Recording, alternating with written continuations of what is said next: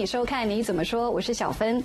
一九五四年，美国一位医生就成功为一对孪生兄弟进行了肾脏移植手术。那么在那之后呢，器官移植手术就变得越来越普及，拯救了无数的生命。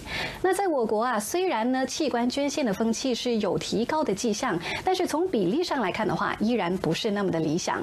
许多器官移植的手术日期依然是遥遥无期的。那今天呢，我们的节目就请到一位母子来到节目中分享他们的亲身经历，也有一位专科医生呢在现场啊，让你进一步的去了解什么是器官移植，什么是肾脏移植。请出我们今天的这几位嘉宾，首先呢，这一位是肾脏专科医生于小莹医生，嗨，大家好。第二位呢是器官移植病患潘伟伦先生，你们好。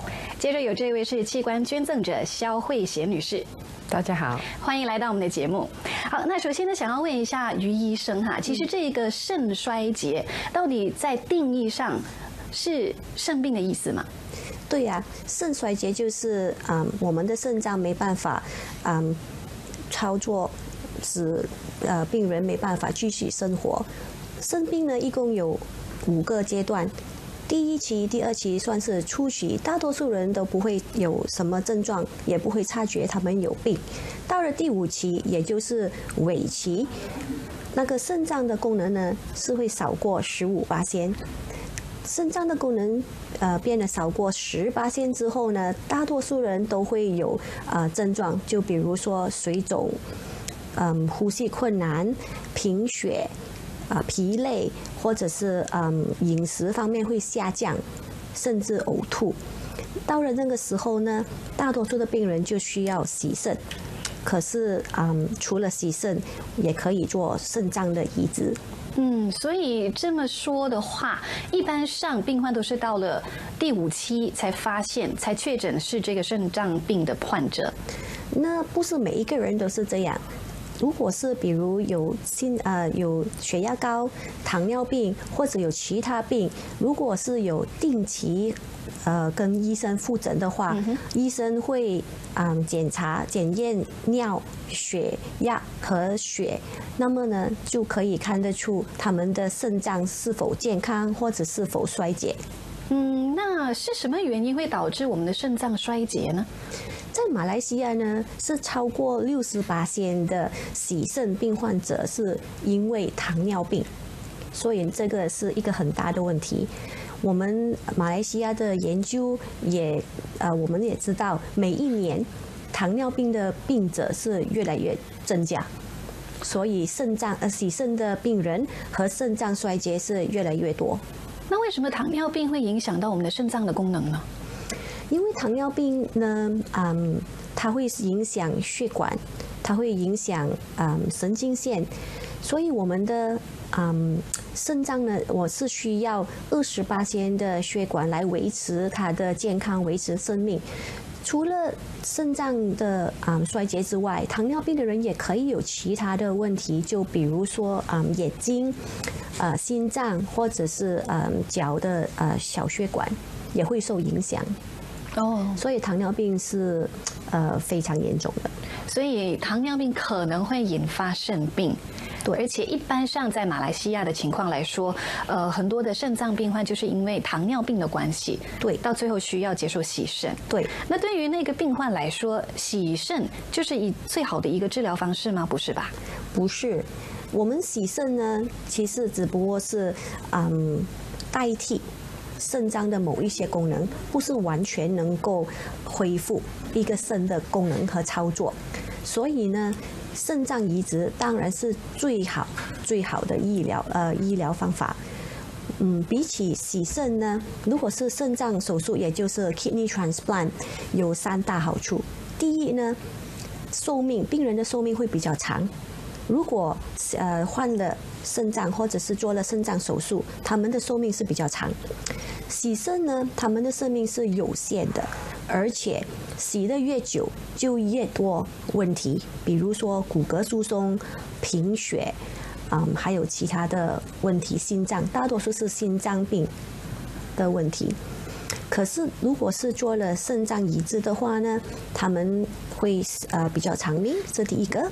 第二个好处呢，就是肾脏嗯移植过后，他们会比较生生活的比较轻松，比较自由，就不用每一天洗肾，或者是一个星期三次需要洗血，他们可以自由生活，可以回去做工，生孩子，有自己的家庭，有比较啊美满的生活。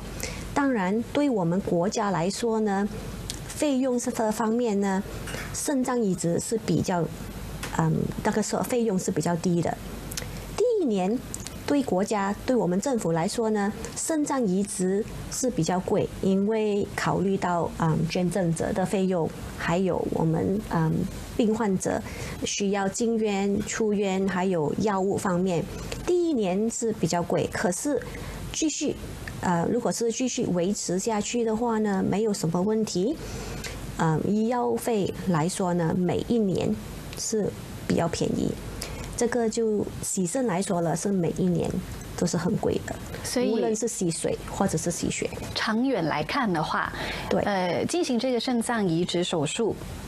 总的来说，那个费用会比较低。那虽然第一年费用会比较高，可是之后的费用就会慢慢的减少。对。可是如果还是接受洗肾的话，那一个费用是每一年都会在同样的一个一个数目，那可能之后还会再增加。对。啊，那关于这个洗肾的过程，那我想伟伦可能可以跟大家分享一下，你是在哎哪一年哦，就是被确诊为是这个呃肾病者？呃，在二零一四年。二零一四年。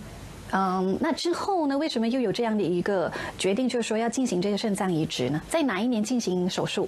手术在一零二二零一七年。二零一七年，所以你大概是呃洗肾就是三年的时间嘛？那在这个洗肾的过程中，你可以跟我们讲一下那些感觉心情是怎么样的吗？嗯，就比较吃时间，就比较浪费时间，一个过程大概整四个小时。然后洗了肾过后，人会比较累。就是当天会觉得比较累吗？还是过后洗肾过后，你你会比较累，你要休息。哦，那为什么会有这个肾脏的问题呢？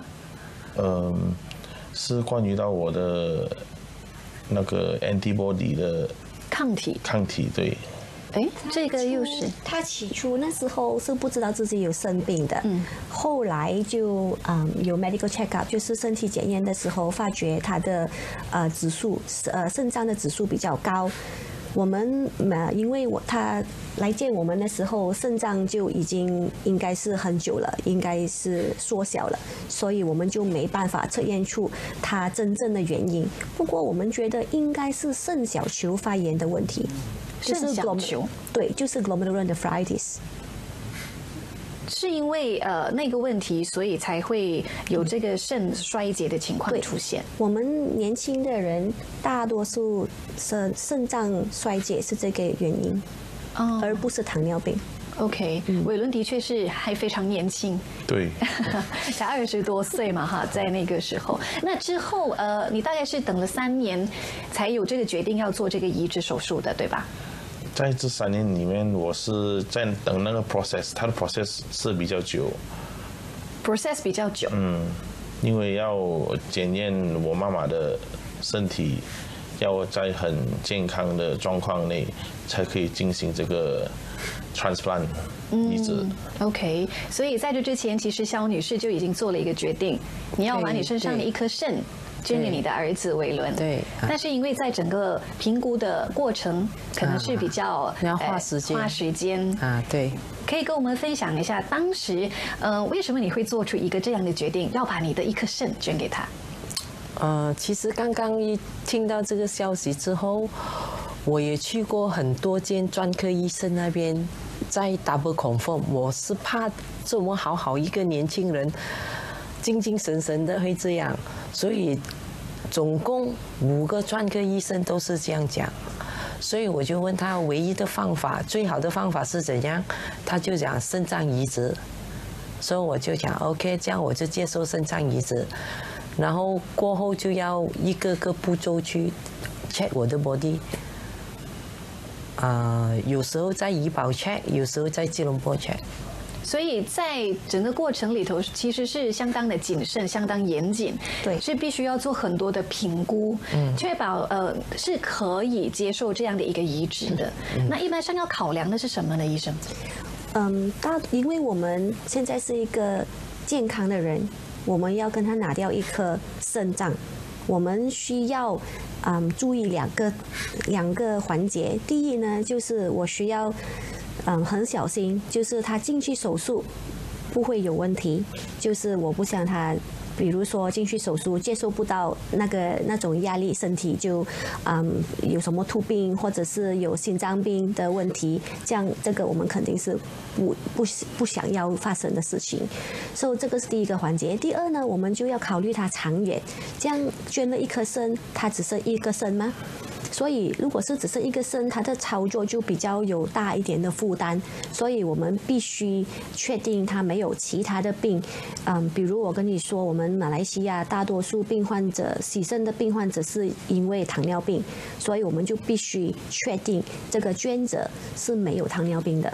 这个啊，其他的就包括心脏必须健康，血压必须正常，他的肾功能也必须是有一定的嗯呃操作能力，我们才可以拿出一个。如果是他自己的肾的操作都不是很好，你拿出一个，这样就等于分班了，那个就对病就对捐赠者来说是不理想的。那我们人体有两个肾嘛？如果把其中一颗摘取出来，对我们身体没有什么影响吗？通常是没有，因为有一些人因为某些原因，比如说肾结石，或者是有细菌感染，有可能是剩一个肾。可是我们如果是看他的血液里面的肾指数，都是很正常的，尿里面也有可能是很正常。还有一些人生出来就只有一个肾。哦，或者是生出来，他的肾就不正常，是两个连在一起的。可是这些人只要有一个肾可以呃正常的操作，他们就可以维持正常的生活。嗯，好，那关于这一方面，就是呃进行了移植手术之后的整个康复的过程，我们也想要请两位呢稍后给我们分享一下。那现场呢有两位嘉宾，他们是一对母子哦。那妈妈呢就捐了一颗肾给她的儿子。那也许在这一个节目当中，可以让大家呢对于整个移植手术呢有更进一步的了解。那么对于器官捐献呢，也可以有深入的了解哈。那可不可以请伟伦跟肖女士哦，就跟我们谈一下，呃，当进行了。这个移植手术之后，你们感觉怎么样？整个康复的过程是怎么样的？来，伟伦先说好吗？移植过后就感觉到人都比较精神了，然后就不需要再进行洗肾，浪费时间了。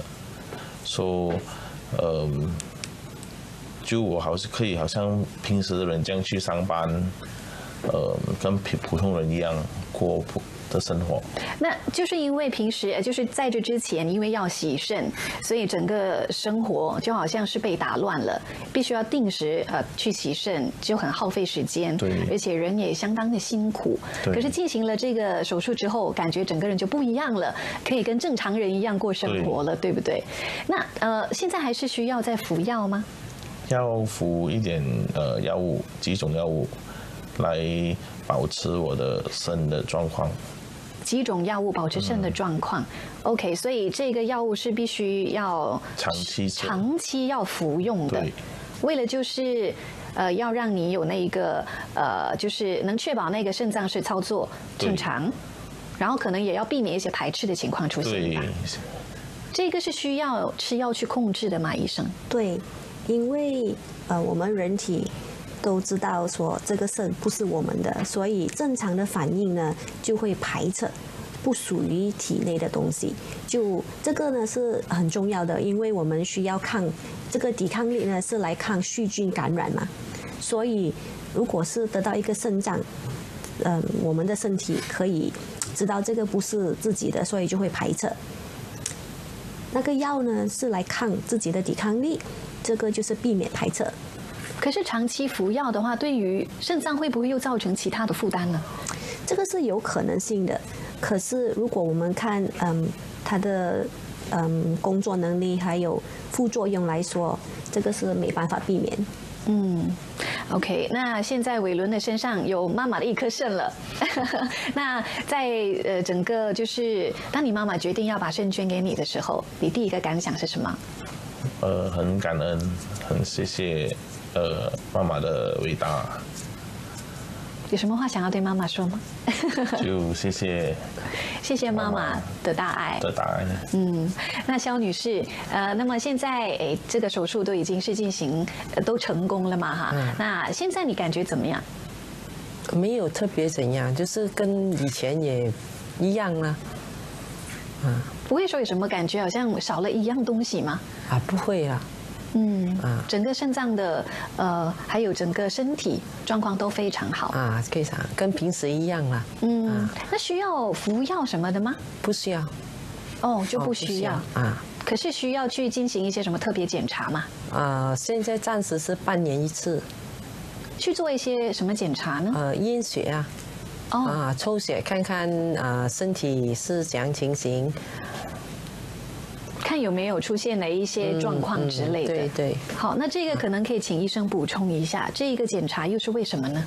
啊，捐赠者呢，我们呃最低限是每一年一次需要来呃见医生和做呃定期的检查，就是检查尿，我们必须确定是没有问题，比如说有啊、流失蛋白质或者是有血在那个尿里面，我们必须确定呃血压是正常、平衡。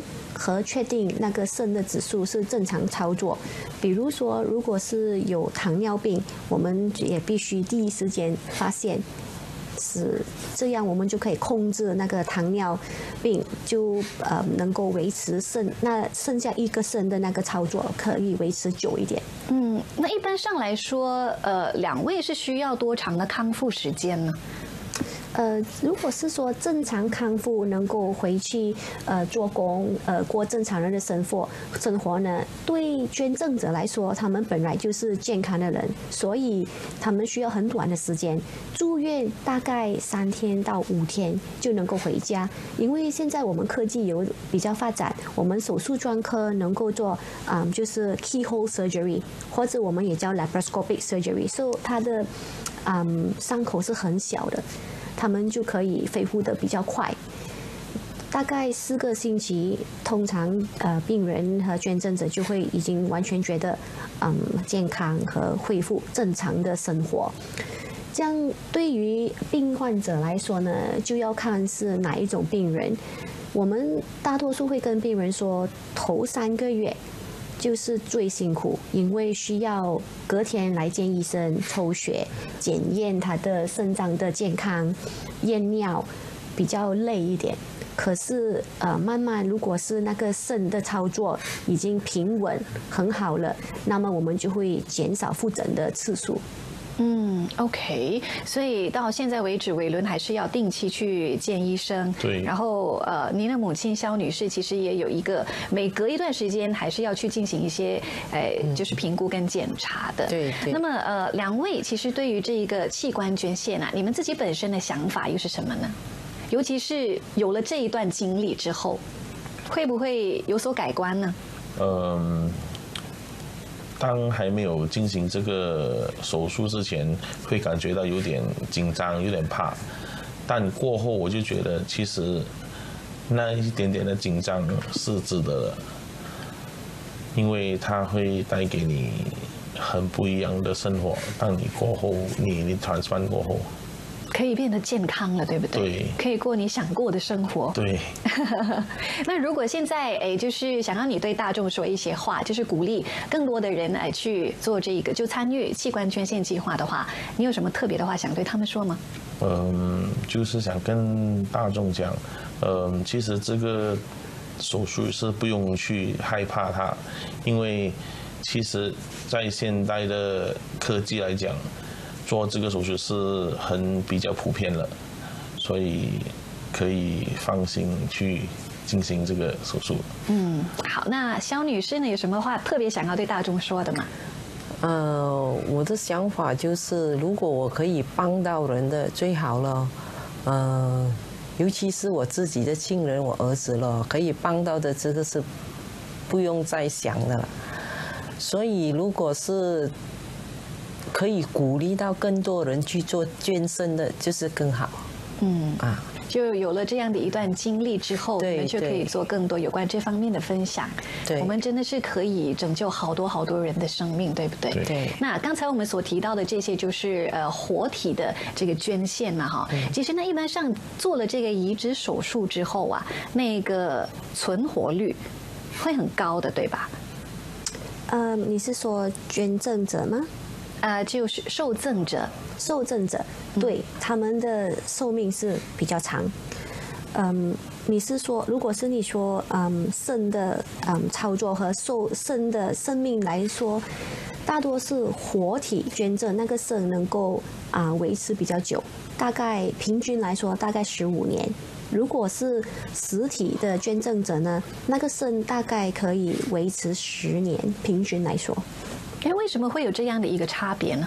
差别呢，就是因为呃，活体捐赠我们能够嗯 plan，就是它呃从那个捐赠者拿出来之后，在冰箱里面最短的时期，这个是第一。第二呢，捐赠者如果是活体，我们只会选最健康的人，所以那个肾那颗肾呢，它的啊 quality 是很好的。如果是嗯实体捐赠者来说呢，我们就没有这么多要求，只要有人肯捐，我们大多数都会接受。所以有时候嗯，叫我们要想，那个死者捐赠为什么会死？有可能是因为嗯心脏病，有可能是因为车祸。如果有这样的嗯死因，也会嗯那个肾也会受到影响。所以，我们嗯拿出来的肾，有可能它的症状不会是最理想的。然后，嗯，我们全国是蛮大的，所以有时候那个肾可以从沙劳越或者可以从阿罗萨要运过来，有时候它在冰箱里面。可以呃保存到十三到十五个小时，不过少如果是少过二十四个小时，那个肾我们还可以用；超过二十四小时，这个肾就无法用。OK，这个是遗体捐赠方面的。对，这个是实体呀。那现在我国还在等待着要进行这个移植手术的病患有多少呢？嗯，在我国呢，已经超过四万人正在洗肾。如果我们只是看，呃，六十岁以下，呃，能够接受肾脏移植手术的呢，就是等待那些呃遗体呃移植的手术是超过二万，超过二万，对，所以比例上来看，其实是相当的不理想。对，那即便是一个人，他已经是签了，已经登记成为这个捐赠者，可是到最后他也不一定能够完成他的遗愿的，对不对？对，因为有几个原因，最主要的原因，嗯，很多人他不一定死在医院，如果是死在家里或是别的地方，这样啊，我们就没办法嗯采取他的呃器官。第二呢，有时候嗯，虽然那个呃捐赠者已经登记了要捐器官，可是家人反对或者家人没办法接受死因，所以这就导致啊，我们很多的嗯捐赠者是其实是最终是没有捐到器官的。那刚刚医生提到其中一个点就是说那个。呃，捐赠者他不是在医院逝世，而在其他地方，所以这也导致他没有办法完成他的遗愿吗？对，因为嗯，我们肾脏我们需要它是有血，就是呃有 blood supply 的，他们就不可以说死了几个小时然后再捐，那个是那个是器官对我们来说是没有用的，所以呢，大多数是死在嗯在呃医院里面是才有机会是能够捐。比如，好，比如说脑死或者是啊心脏死亡，嗯，在固定的时间，我们才可以采取他的器官。哦，那这个是需要医生去鉴定他是脑死还是心脏停止跳跳动，对，才才可以捐他的器官出来的。对，那现在诶，一年大概有多少个个案呢？能够进行这个移植手术的？嗯，就比如二零一八年来说，我们只收到五个捐赠者，也就是说只有十颗肾脏而已。五个只有十颗，可是在这个等待名单当中又有两万个。对。所以你可以想象，我们的嗯洗肾病者是要等上十五到二十年才有机会，嗯等到这个肾脏的。嗯，难怪啊，呃，从一些报道来说，就是说，其实我国的整个比例上来说，还是不是那么的理想。虽然这个登记捐赠者的那个人数是有不断上升的一个趋势了哈。对，器官捐献，生命无限哦。那对于器官捐献，你现在是保持着一个怎么样的想法呢？会不会还是有那种抗拒或者是那种恐惧感呢？其实总的来说啊，在我国呢，嗯，从那个人口上来看的话。登记成为捐赠患者的这个百分比大概只有百分之一点多吧，对不对？所以就是希望借着今天的这个节目，让大家多了解一下器官捐献的那个重要性哈。那这时想问一下，诶，于医生啊，那如果是呃一个肾脏病患，他要等待着这一个移植手术的话，他们大概要等多久才可以等到进行这一个手术？而且会不会有那个优先顺序这样的一个考量呢？嗯，如果是等待，就是嗯，就是遗体的肾脏呢，大多数要超过十年，有一些甚至等上二十年。我们通常分配肾脏和器官呢，就是看血型，当然是同样的血型给同样的啊病患者。优先呢，就嗯不是很多，我们通常是看洗了多久，洗肾洗了多久，就是第一个优先。第二呢，有些情况有特殊的情况下，如果是有活体捐赠者，嗯，捐了肾，可是那个肾在短期内，比如说一个星期，或者是甚至直接是没办法操纵，我们会呃考虑把它呃给他优先等，嗯，这个呃其他的肾脏。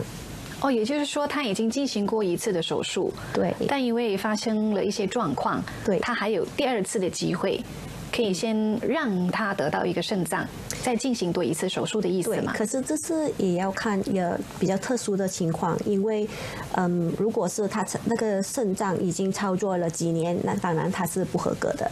他是没办法得到这个优先，可是如果是他，嗯，我们某些比如说手术上的啊问题，他的肾脏没办法操作，那么我们可以考虑说，嗯，给他优先得到这个捐赠的肾脏。那在怎么样的情况之下，呃，他用？他又必须就是要做出取舍，这个是由谁去鉴定？谁可以先得到？谁可能还要排队？这个是医生，就是我们肾脏专科，嗯，鉴定的，决定的。就是由那一个医生主治医生去决定，还是是有一个委员会的？哦，是有一个委员会的。是全国性的一个委员会，然后你们会有一个名单，然后会有先先做一些考虑，嗯，会不会是？就是看呃情每一个 case 啦，case by case basis 啦，嗯嗯。嗯，那会不会是有一些年龄上的考量呢？比如说可能会先救小朋友啊，还是先救一些乐龄的？病患，像我们嗯洗肾的那个名单里面呢，我们是分两个，是分小孩和分成年人。成年人算是十八岁以上，小孩呢，如果是我们得到的捐赠者是十八岁以下，也就是小孩的年龄，我们就会啊把这个肾脏分配给小孩。如果是超过十八岁的捐赠者呢，我们就会把它分配给成年人。哦，是有这样的一个组别，有去做一个这样的分别。嗯，严格来说呢，如果是嗯病者是小孩，呃小过十八岁，其实他的呃等肾脏呢是他的等级是比较短的，他不用等那么久。为什么呢？因为呃小孩洗肾的病者其实不是很多。嗯，因为糖尿病都是成年人的病。嗯哼，小孩的肾脏病呢？大多数是因为啊天生，所以就没有这么普遍。那刚才就听呃医生说，现在在接受洗肾的肾脏病患大约四万多个嘛。嗯。可是诶，就是等待要进行移植手术的大概有两万个。对。那剩下的其余的那两万个是基于什么原因，他们不能够进行手术吗？这些病者他们都大多数是年龄已经高过六十岁。比如说他们已经是七十岁在洗着肾，嗯，我们考虑年龄来说和寿命来说，这样，嗯，低风险手术的风险就比较偏高。这些人年纪比较大了，他们心脏病也比较多，所以接受这个手术其实是高风险。然后得益也不是他们的益处也不是很好，比如说一个七十岁的老年人来说，接受一个肾脏三十几岁的肾脏，那么这个是对国家资产是一个浪费。还有他们你七十岁，大多数人也说我已经七十岁了，我我不需要嗯肾脏移植让给年轻人，这个是一个想法。还有他们也七十岁了，最多寿命要多长呢？有可能个五年或者十年，所以很多人也不会考虑。嗯，那对于一个捐赠者哈，无论是一个活人也好，或者是呃身亡者啊，捐献他们的器官，其实对于他们自己本身有什么好处吗？你是说活体吗？活体，或者是对于一个死者来说？对于死者来说是。没有什么好处，有可能家人会感到安慰，因为他们，就好像你说，一个生命的结束是有可能是另外一个生命的开始，所以这个对呃死者的家人来说，有可能是一个安慰，有可能是一个啊满足。对于活体来说，我们大致上是做啊亲戚。就好比如啊，我们这位小女士，她觉得满足，因为她给了儿子一个好的生活，已经给儿子一个重活的机会。对于这本身来说是没有什么好处。所以呃，就可能就是为这个事件再多做一件好事，对吗？那对于一个活体来说，也算真的是做了一件好事，而且还可以帮到自己的儿子，那个精神是值得我们去敬佩的。因为毕竟哈，能够做出这样的一个牺牲，不是每一个人都可以办得到的。尤其是可能现在还对于这样的一个器官捐献计划保持着观望态度的电视机的你哈，呃，你可能会有一种恐惧。或者是你对于诶自己的这个身体的部分的不了解，你不晓得之后你的器官会会会怎么样去处理，会到了一个怎么样的人的身上，你还是存有这种模糊地带哈。那其实医生你呃常常面对一些病人哈，他们会不会对你透露这样的一些心声呢？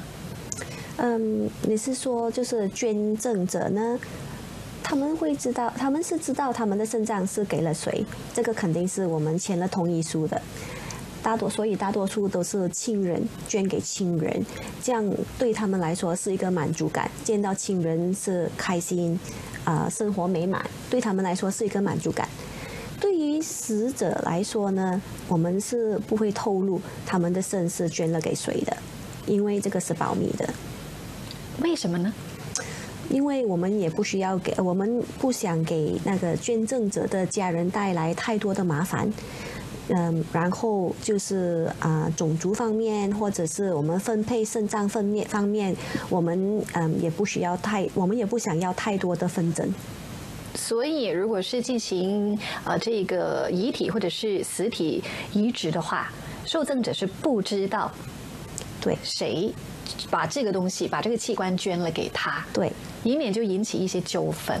对，OK，那谈到这个纠纷的话，我就想到，如果是一个呃捐赠者，他已经是捐了，是签了那个捐赠卡，可是之后遭到他的家人反对，到最后其实医生都会以他的家人的意愿为根据的。如果家人反对的话，我们是没办法，是没办法摘摘的，就摘取那个器官的。对，OK，那其实这个是受到法律的保障的嘛？对。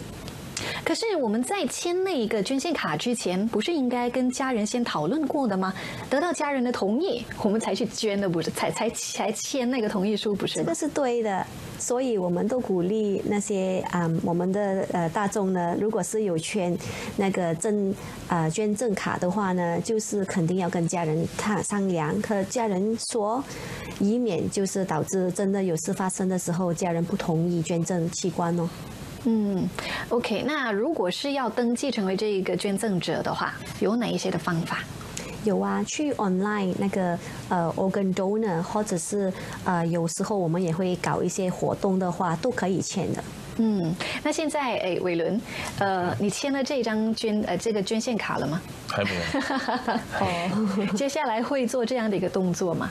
呃，因为我只剩一个肾，所以到我死的时候我也会签签这个捐赠的。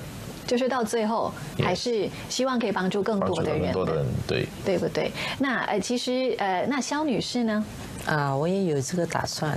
所以到最后，如果是诶其中一个家人有这样的一个遗愿的话，你也不会反对的，对不对？对，嗯。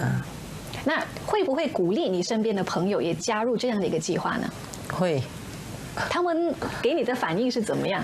呃，他们暂时还没有反应。暂时没有反应啊，暂时没有反应，但是也没有反对。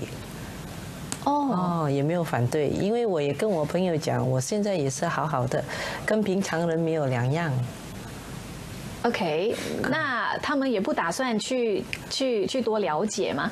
呃，也许他们需要时间去想想。啊，嗯，那你们的这个经历其实就是一个最好的经验分享。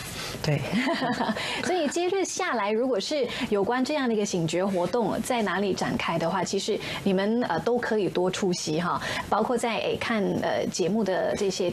观众朋友们呐，如果会有这样的一个觉醒运动，在你所居住的地方，在你的家附近呃进行的话呢，就是希望大家可以多多参与，多了解一下。毕竟，其实这样的一个运动，在我国就是做了很多年，对政府做了很多很多的努力，但是那个效果还不是那么的理想。这个原因是什么呢？谈到这个器官捐献呢，我相信大家对这样的一个名词都不会陌生了。可是，如果要你去登记成为这个器官捐献者的话，你会做怎么样的一个考虑呢？到最后，你会不会去签这一张捐赠的同意书呢？我们想了解一下，哎，其实大家的这个想法又是怎么样了？先问一下医生，其实你面对这个病人很多嘛？那呃，当然也会在这一个在在诶。见这个病人的当儿，会不会也向他们传达一下这样的一个讯息？而他们给你的那个反应又是什么呢？当然会啊，因为我们看这么多洗肾的病人，其实挺可怜的，他们全部都在过着不理想的生活。当然，第一件事，我们除了说呃讲解洗肾，那也就是暂时性的，我们也鼓励嗯肾脏移植。所以我们会鼓励他考虑，呃，家人，嗯，如果有时候呃家人会来见我们的话，我们会，嗯，鼓励他们捐肾。最重要、最主要呢，就是解释给他们听，是肾脏呃移植是什么样的情况，什么样的过程。然后啊，如果是他们有兴趣，我们就会做呃初步的检验，比如是血和尿、血压、血糖。如果是都符合条件、都健康呢，我们嗯才会进行做其他的检查。那么呢，我觉得最主要是解释给他们听他们的风险。所嗯，因为我们其实呃每一次见病人和他的家人，就是有可能成为捐赠者的家人呢，我们都需要很长的时间来嗯给他们讲解。这个呢是一个嗯比较复杂的一个嗯环节，是因为心理的障碍有一些负担吗？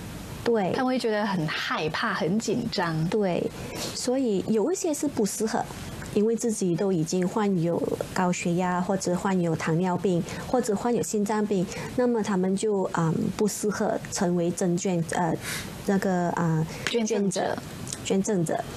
所以呢，我们也需要看看他们的病例和他们的情况。大多数来见我们的呢，都是有兴趣，然后结果也是会做嗯那个捐赠者的。可是我们的问题就是，有好多人他们是怕、恐惧，也不想前来，或者有时候家人的关系不是每一个家庭都关系很好。有时候兄弟姐妹也不说话，也没有见，所以这个是嗯很复杂的一个情况。嗯，有一些呢，他们呃有可能想捐，可是自己又不健康，或者是他们有时候想捐，可是又害怕。那么，嗯，这个我们可以理解，需要给他时间，嗯，再讨论过几次。所以，那在医生服务的医院啊，会不会定期就主办类似的活动？那大众给你们的反应又是怎么样？有啊，这些通常不是我们肾专科做的活动，他们是啊另一个啊组织，他们是啊 kidney donation 的那个组织，他们会做活动，而不只是在呃中央医院，他们在嗯有时 supermarket 嗯地方都会做活动，给大众知道啊这个呃肾捐者呃正。就是呃，kidney transplant，其他的 organ transplant，他们也会做一些活动，就是给人民和大众知道这个什么是 transplant 嘛。他们最主要的目的呢，就是嗯，鼓励比较多人们就是签那个捐赠卡。那签了之后，必须随身携带那一张捐赠卡的吗？对呀，可以，就是好像你的 IC 或者是 driving license 就放进你的嗯荷包或者是 pocket 就可以了。那如果遗失的话呢？需要补办的吗？啊，可以补办，不过不然，可以去网上就可以了。嗯，因为透过你们的那一个网上系统，其实还是可以查得到，可以他是不是这一个呃捐赠者，他生前是不是已经签了这张捐赠卡，即便那张捐赠卡已经是遗失了，对，但是还是可以查得到的。对，那个赠呃捐赠卡呢，也不是嗯太过重要，因为只要你的家人是知道你自己有意愿说，呃要捐赠器官，如果是有发生意外或是怎么样。他们是可以帮你签啊同意书的，就是只要家人允许，我们就可以采取他的器官。那院方会不会有一些动作，就是会呃为每一名的死者，就是先检查一下他们是不是在这个捐献器官的名单里面？因为有一些捐赠者可能他生前没告诉他的家人，他家人也不知道，而且也找不到他的捐赠卡的话，会不会就是每一个死者的名单？他们都会先检查一遍是不是捐赠者。对死者的呃，如果是符合条件的死者呢，啊，比如说脑死或者是呃心脏停跳的话呢，他们呃是有会去呃查的。那如果是因为其他的原因的话，就省了这样的一个动作了。对，OK。那总的来说的话，其实哪一些器官是可以进行移植的？除了肾脏之外，嗯，比如说那个 cornea，就是眼睛眼角膜。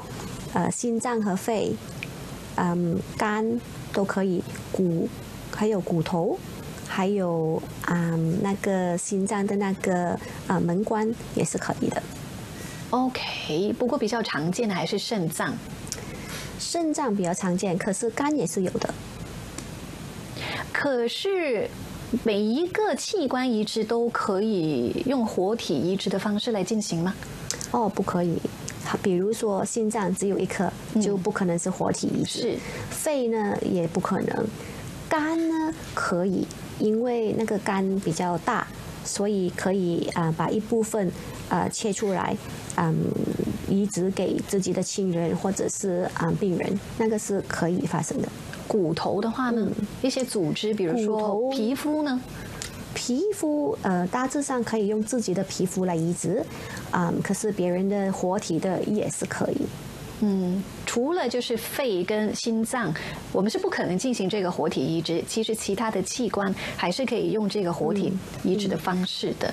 那最主要就两个：骨髓、肝和肾脏。骨髓、肝和肾脏。那在马来西亚，其实肾脏的这个需求会比较多一点。是因为生病者很多，相对来说也比较多一点点。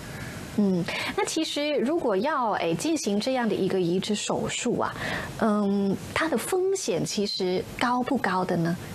肾脏移植来说，嗯，会不会因为那个年龄的关系而有所不同？对呀，因为年龄越高，嗯，他的心脏就啊没有这么强壮，还有他可能性有心脏病呢是比较高的。所以越年轻当然是呃越好。对病人来说呢，每一个手术是一个大的手术，是有一定的风险的。可是如果是考虑到嗯益处，当然嗯我们要看风险有多高，每一个病人的风险是不一样的，就要看他自己的病例。就好比如说伟伦他年轻，他没有心脏病，所以他的风险是没有那么高。如果是一个嗯上了年纪的五十多岁的人来说，有糖尿病或者是有心脏病，这样他的风险肯定是比较高的。嗯，所以还是会有这样的一些考量，要看个案啦，对不对？那其实伟伦现在呃，你的整个康复状态也相当的不错的。对。那其实未来有怎么样的一个计划的吗？嗯，就像普通人这样可以结婚、生孩子、有个家庭。嗯，所以现在有了健康的这个身体，就可以做很多你想要做的事情，成家立室之类的。好，所以要好好的珍惜你的这一颗肾，好好的照顾你的健康，对不对？对。那妈妈呢？妈妈有什么特别的话想要对伟伦说的吗？嗯，没有啦。每个人都有自己的生活，啊，最重要他生活的开心。生活的开心。啊，对。你看到他开心，妈妈也会开心的，对不对？对，这个就是每一个做妈妈的那个心声。对，嗯，最重要就是自己没关系的，孩子最重要的，对吗？相信每一个为人父母者都是这样的一个想法了哈。那站在医生的这个立场呢，你又怎么样去看伟伦现在的整个康复的整个状态？不用洗肾，这是一个很好的康复了。不用洗肾，然后能够做工，有自己的家庭，能过自己的生活，那个就是我们做呃医生的需求。我们就需要你有一个好的生活，我们才会帮你做啊这个治疗嘛。那谈到这个洗肾的话，哈，其实刚才就呃医生有提到什么洗血、洗洗水，其实这个分别是什么呢？呃，分别只不过是呃做的方法。两种呢，呃，洗肾的方法呢，也是其实代替嗯一些肾的功能。嗯，洗血呢，就好像伟伦之前做的呢，就是啊有一个那个 fistula，就一个星期大概三次，每一次需要四个小时的时间，就是清理啊血液里面的。啊，那种啊，toxin，uremic toxin，嗯，就是排除过量的水分，维持盐的平衡之内。不过除此以外呢，也有也需要嗯，饮食方面也有很多东西需要进。嗯，骨骼方面也需要嗯维持保护，然后还要打针。需要打针的，嗯，因为需要，因为嗯，我们的肾脏呢，它其中一个功能呢，就是帮助骨髓制造红血球。如果肾脏衰竭过后呢，就没办法，嗯，制造这个可尔蒙，就必须需要一个呃人造的可尔蒙来替换这个肾的功能。所以嗯，很多东西是那不理想的。伟伦，那你在洗肾的时候，你会感觉到痛苦的吗？呃，会啊，因为就是洗肾的时候，每次就会有针插下去，把你血抽出来，经过那个洗肾的机器洗回出来，就你会呃觉得有点痛，不过过后一两年过后就比较习惯吗？就习惯了。嗯，可是。进行那个肾脏移植手术，当然就是一个最好的方法。对，嗯，觉得你很幸运，你遇到了呃你的适合的一颗肾脏，妈妈真的很伟大。其实除了妈妈之外，还有没有其他的家庭成员也接受这一个评估，想要捐肾给伟伦的？呃，他的姐姐都有讲的，但是我第一个我去 check，我适合，他们就不需要了。哦，所以你是。